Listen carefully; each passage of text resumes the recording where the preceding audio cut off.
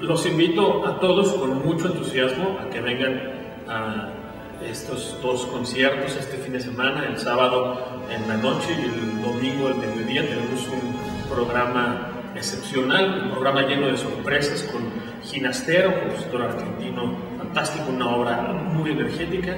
Después el concierto para piano de José Rolón, que es una obra que se toca muy poco, con una pianista mexicana excepcional, Claudia Corona.